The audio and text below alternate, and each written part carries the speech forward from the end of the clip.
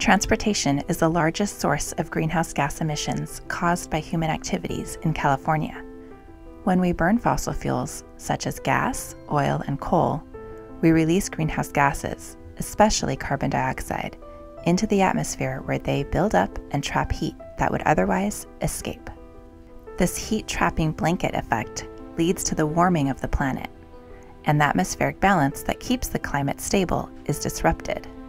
Earth's climate is changing faster than at any point in the history of modern civilization. Global climate change has already resulted in a wide range of impacts across our country, state, and Bay Area region. Uh, some of the impacts I've experienced here in Santa Clara County is not being able to go outside and swim due to poor air quality. While I was trying to study for my midterm, the power went out at my house.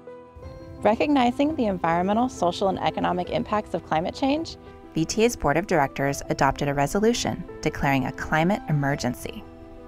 This resolution committed VTA to prepare a climate action and adaptation plan to guide its response to the climate crisis. The CAP outlines strategies, measures, and actions that VTA will take to reduce greenhouse gas emissions. These actions include things like increasing transit travel speed and reliability through transit signal priority, dedicated bus lanes, and new or expanded rapid bus service, increasing development around transit stations and along transit corridors, and providing affordable housing and access to the necessities of daily life available within a short walk, bicycle ride, or transit trip. The CAP also analyzes VTA's vulnerability to climate impacts, such as sea level rise, flooding, extreme heat, wildfire, and drought and proposes actions to adapt, build resilience, and minimize impacts to our riders, workers, and communities. These actions include bolstering emergency preparedness efforts, collaborating with member agencies and other partnering organizations to encourage and expedite shoreline protection and restoration projects, and integrating climate adaptation considerations into design standards, criteria, and long-term planning processes for transportation infrastructure and assets.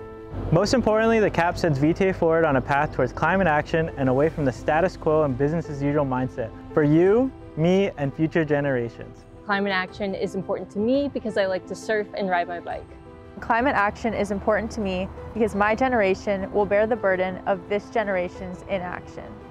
The adoption of the Climate Action and Adaptation Plan is just the beginning. VTA will continue to engage community members to implement this plan and promote sustainability and climate resilience throughout the county and the region. We look forward to working with you to make Santa Clara County an even better place to live.